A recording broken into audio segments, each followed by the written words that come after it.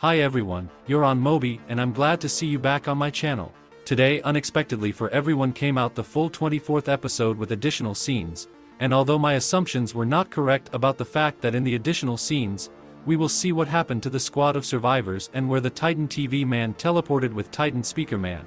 But this season gave us two other secret scenes that we will talk about today, so be sure to put a like and subscribe to the channel, and also join my Discord server, the link will be in the first attached comment, but in any case we start.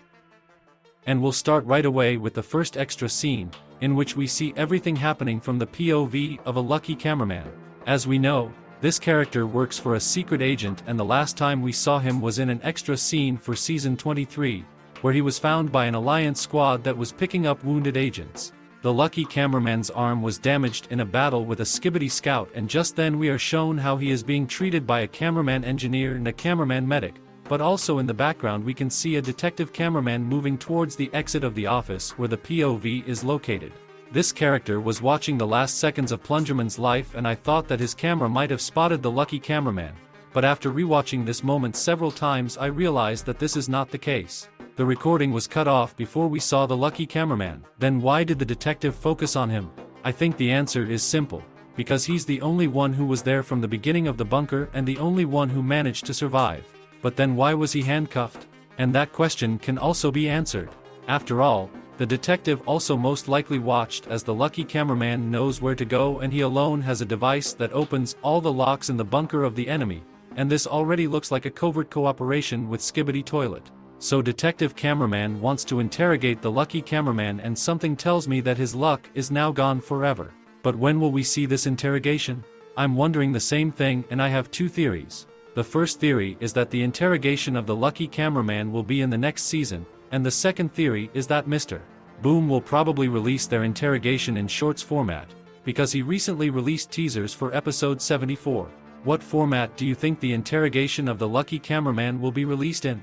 Write in the comments, and while you write, I will move on to analyze the next secret scene.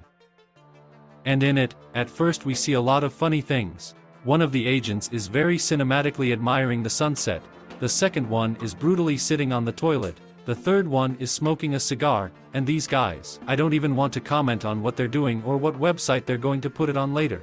But just a few seconds later we see G Toilet flying away fast and quickly and then the Titan TV man appears in front of him, determined to destroy him and only after a while did it dawn on me that this scene takes place after the events of episode 73.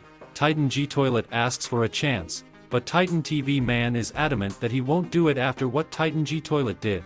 And yet as we can tell from the scene in episode 74, G Toilet still managed to escape from Titan TV Man and it looks like G-Toilet now wants to join the alliance because he realizes that he can't defeat the Astro Toilet's army alone. And I have a feeling that in the future when G-Toilet will gain the trust of the alliance and will fight for them, he will play a very important and key role in the plot of the series. I assume that he will probably sacrifice himself for the alliance, but this is just my theory, and you can write your theories in the comments and the most interesting of them will be in one of my next videos. In the meantime, check out these videos that are on your screens right now.